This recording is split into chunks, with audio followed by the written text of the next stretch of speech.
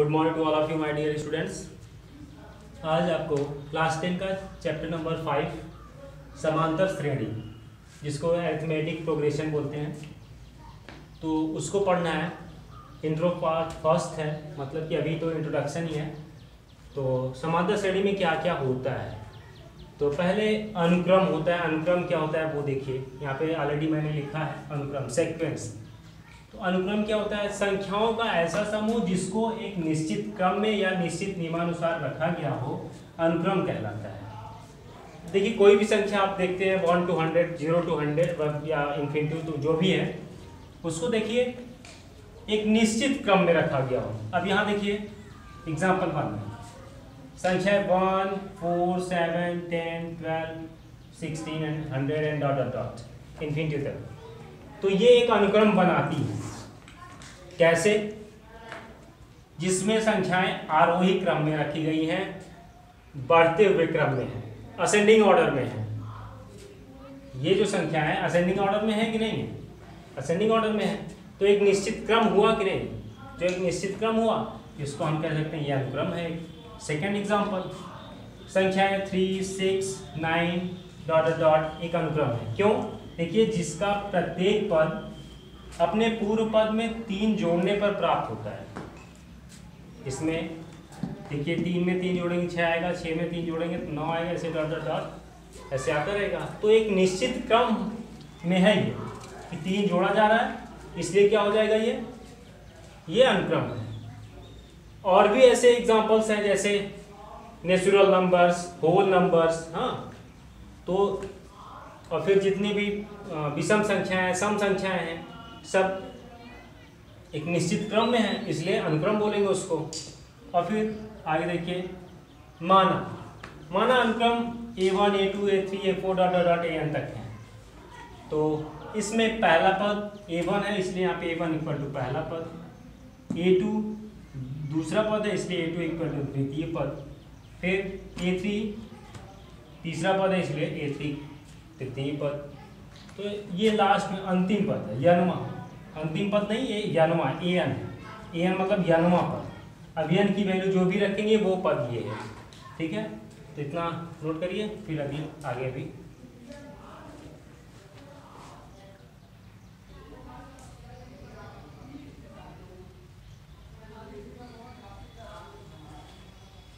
बच्चों next topic आपको आता है श्रेणी जिसको प्रोग्रेशन बोलते हैं, तभी अनुक्रम आप पढ़े। अब आपका है प्रोग्रेशन श्रेणी। अब यहाँ पे ऐसा अनुक्रम जिसमें पदों को कुछ विशेष प्रतिबंधों विशेष प्रतिबंधों के साथ लिखा जा सके, अर्थात जिसका प्रत्येक पद किसी विशेष नियम के अंतर्गत व्यवस्थित हो, श्रेणी कहलाता है। ठीक है? मतलब कि किसी विशेष प्रतिबंध के साथ लिखा जा सके, वो श्रेणी कहलाता है। श्रेणी, ना? जैसे एग्जांपल में आपका है, ये पहला देखिए, अनुक्रम five seven nine eleven dot dot dot ऐसे एक श्रेणी है। कैसे देखिए? क्योंकि इसका प्रत्येक पद उसके पूर्व पद में दो जोड़कर प्राप्त किया गया है।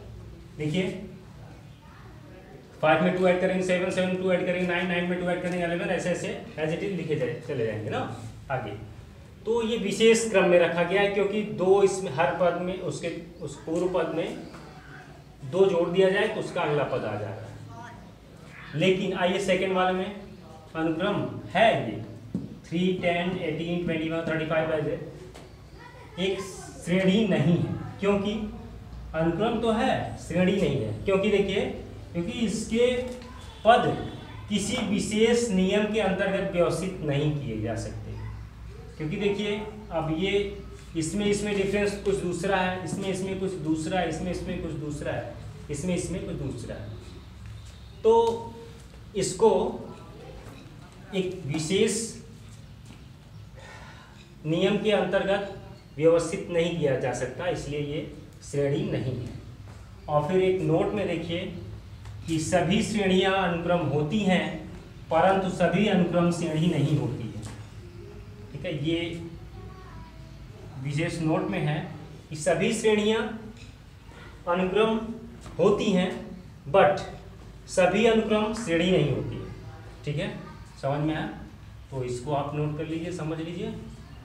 उसके बाद फिर अगला नेक्स्ट टॉपिक देखते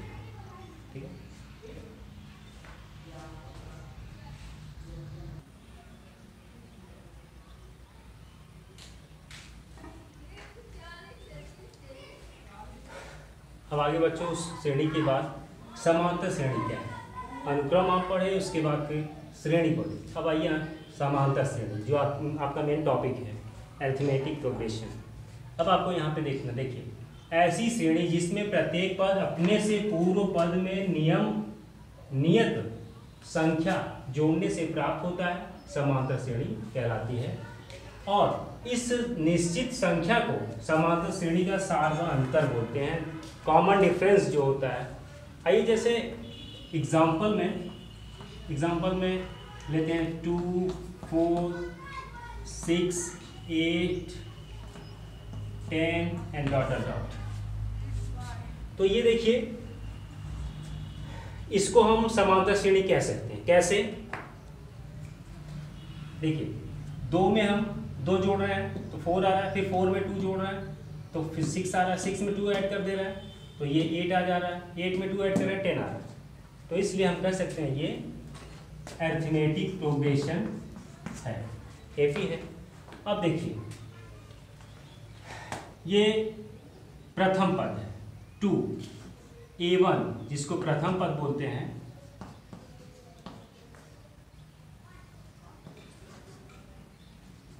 प्रथम पद जो आपका क्या है? टू है। A two. द्वितीय पद।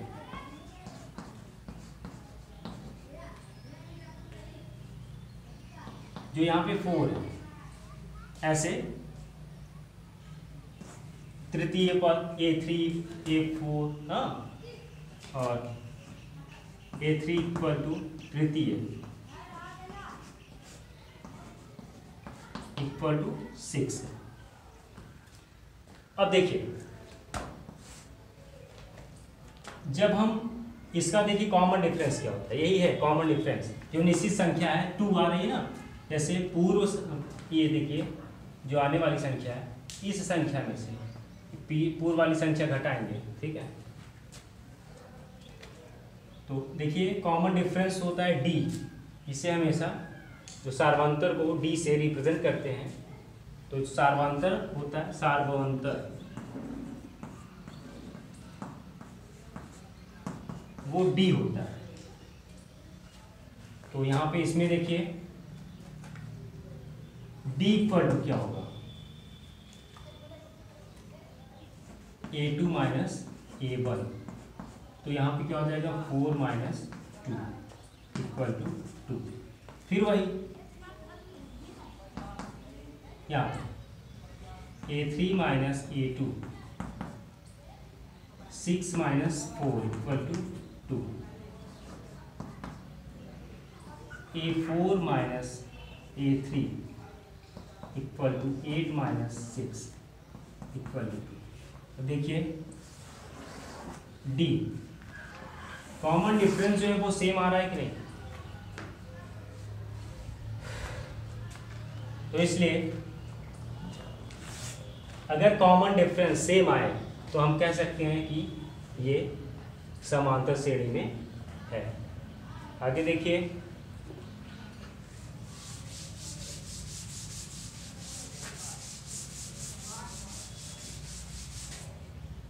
जैसे मान ले रहे हैं कि a one a two a three a four dot dot dot a n ये ए पी एर्थमेटिक प्रोग्रेशन ये जो क्या है, वो समांतर श्रेणी तो देखिए, हमेशा फ़र्स्ट टर्म क्या है? प्रथम पद ए वन है, और फिर द्वितीय पद क्या है? ए टू है ना? तो यहाँ पे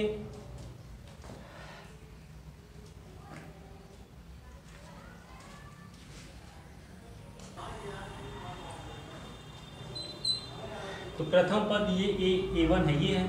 देखिए V T plus a two क्या है? A one plus sorry a one plus d फिर a three equal to a two plus d a four equal to a three plus d ये ऐसे भी लिख सकते हैं इसको वैसे एक तो ये हो गया और वैसे सामान्यतः रूप से। चलिए, इस तरह देख लीजिए, सामान्यतः कैसे लिखते हैं, वो आपको आगे बता रहा हूँ।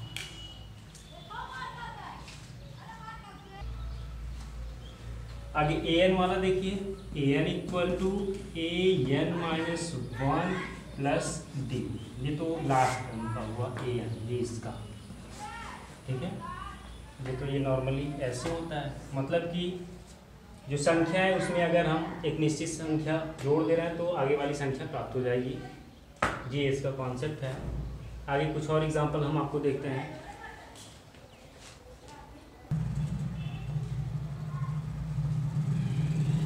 तो बच्चों, समांतर श्रेणी को समानता कैसे लिखते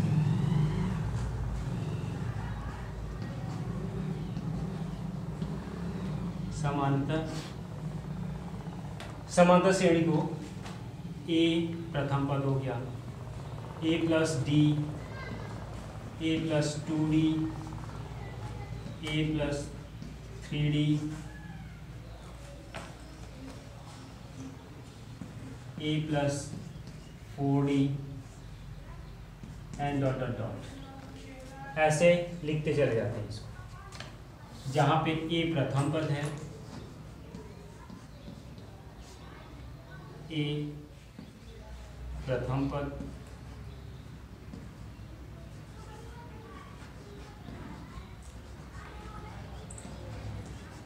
और डी सार्वंतर डी क्या है? सार्वंतर तो तो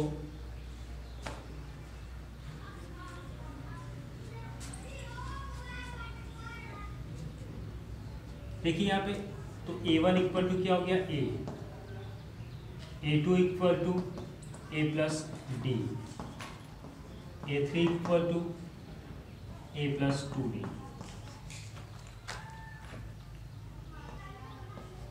a four equal to a plus three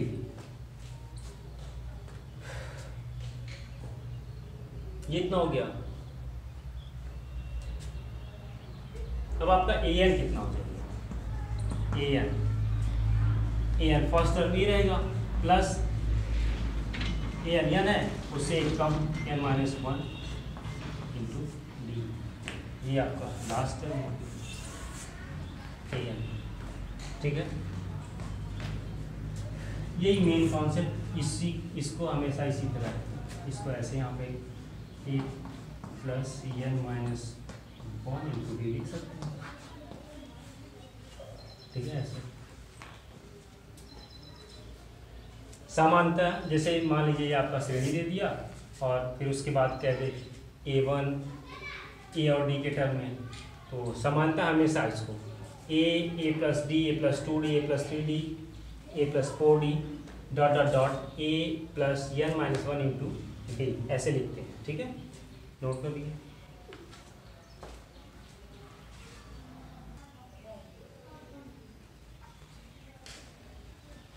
तो बच्चे नेक्स्ट टॉपिक है, समांतर श्रेणी का यनवा पद समांतर श्रेणी का यनवा पद तो मान लेते हैं कि माना समांतर श्रेणी का प्रथम पद ए और सार्वंतर डी है। तो इसका यनवा पद यनवा पद वही, देखिए, अभी आपको इस पर पिछले, इसके पीछे बताए थे। A n equal to a plus n minus one into d फिर आगे समांतर श्रेणी का यनवा पद व्यापक पद पद कहलाता है जनरल टर्म जो यनवा पद होता है, वो व्यापक पद कहलाता है। जनरल टर्म जिसको बोलते हैं। फिर आगे, इसी में, ये तो हो गया आपका। यनवा पद a n equal to a plus n minus one into d आगे देखिए, यदि समांतर श्रेणी में कुल यन पद हो, कितने हो? यन पद हो। जब समांतर श्रेणी में कुल एन पद हो, तथा यनवा पद अर्थात अंतिम पद यल हो जब अंतिम पद एल हो, कुल पदों की संख्या एन हो और अंतिम पद एल हो तो l equal to a plus n minus one into d वही जो यहाँ है, वही चीज़ यहाँ, बस केवल ये ए एन के स्थान पे यल हो गया। यहाँ पे कहा हुआ है कि यनवा पद, अंतिम पद, क्या हो आपका? यल हो। इसलिए क्या हुआ ये? L equal to a plus n minus one into t यहाँ पे ए प्रथम पद है और ये सार्वंतर डी है। और यनवा पद यन है ठीक है? नोट करिए।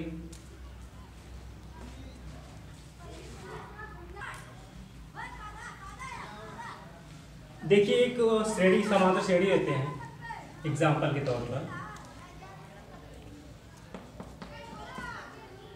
Five comma eight comma eleven comma fourteen ये ए ए पी है। समांतर श्रेणी में है। कह रहा है कि इसका प्रथम पद और सार्वंतर ज्ञात कीजिए। तो देखिए, प्रथम प्रथम पद ए इक्वल टू फाइव है और सार्वंतर डी सार्वंतर डी होता है हमेशा तो इसका मतलब यहाँ पे एट माइनस फाइव तो ये कितना हो जाएगा?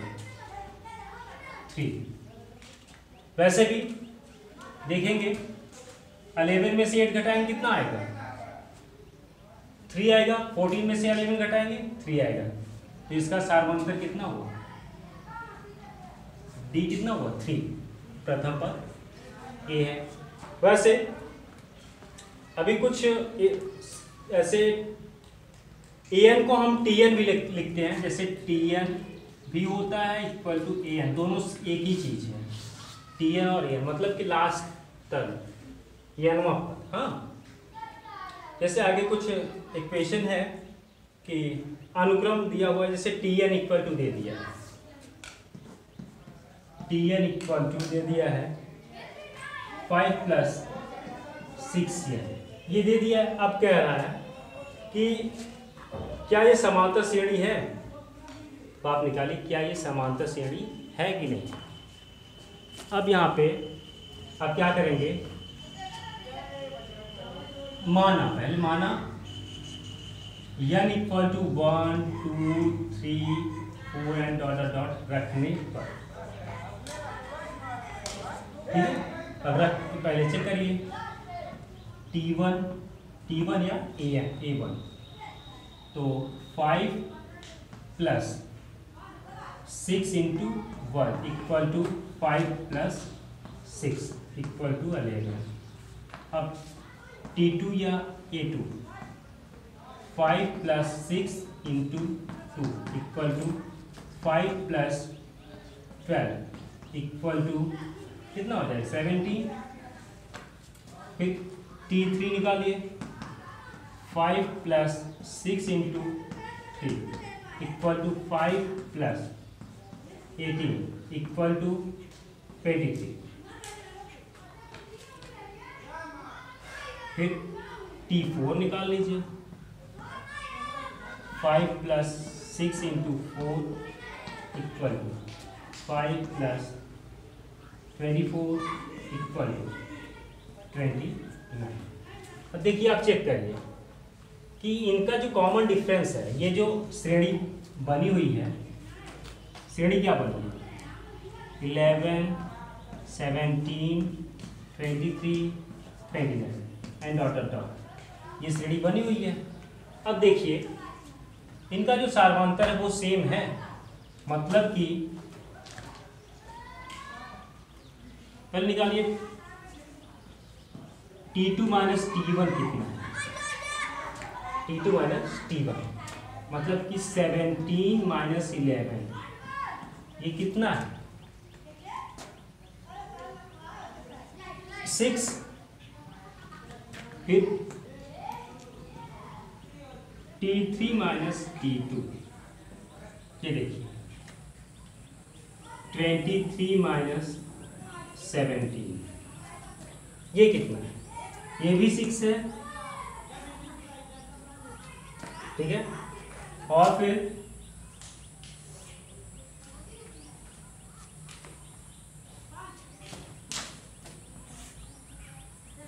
T four minus t three मतलब कि ट्वेंटी नाइन माइनस ट्वेंटी ये कितना आया? ये भी सिक्स ही आया। तो अतः क्या है?